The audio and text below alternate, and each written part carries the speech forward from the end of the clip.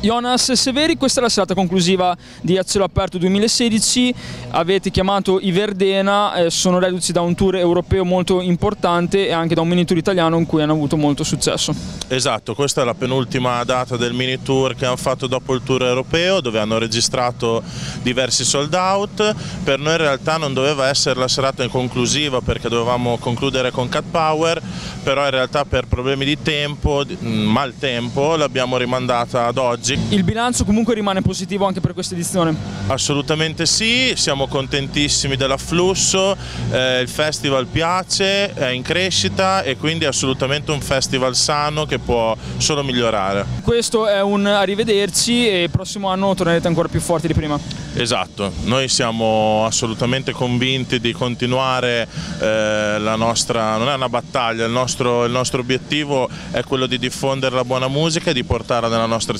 quindi sicuramente continueremo e anzi vorremmo crescere ancora di più allargando il festival alla città e quindi eh, regalando anche al pubblico eh, che non è magari interessato al gruppo un momento di intrattenimento e di spettacolo.